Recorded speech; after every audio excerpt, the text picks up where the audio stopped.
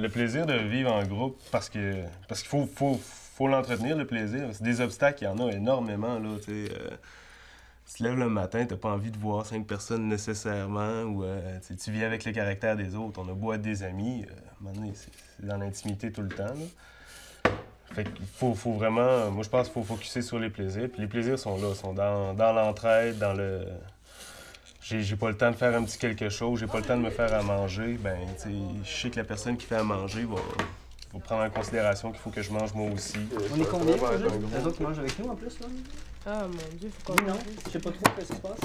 Au niveau de la proximité, au niveau de la relation avec l'autre, tu sais, j'ai bien des amis que leur vie c'est le travail, rentrer chez eux, jouer à l'ordinateur, puis euh, aller faire leur petite épicerie.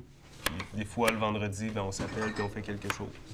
Mais tu il y a six autres jours où t'es es toute seule dans ton quotidien. Puis moi, je, personnellement, tu c'est pas, c'est pas la vie que je souhaite. là. Une salade? Une laitue. Non, on a des restants de riz. Ça je va sais pas devenir une quoi. salade éventuellement. On a de la Surtout qu'on va y compote de- ajouter La compote de porc. la vinaigrette. Moi, j'aime bien dire qu'on est une tribu. J'aime beaucoup ce mot-là parce que je trouve qu'il sort du cadre euh, établi de la famille, qui est clairement de plus en plus, en fait, avec la famille moderne, c'est- c'est c'est la famille nucléaire un peu restreinte. Déjà, la, la famille avant, peut-être ça ressemblait plus à ce qu'on ce qu'on est là, mais il y a- il y a quand même des différences, là. Plusieurs. Par rapport- On n'est pas une famille. A priori.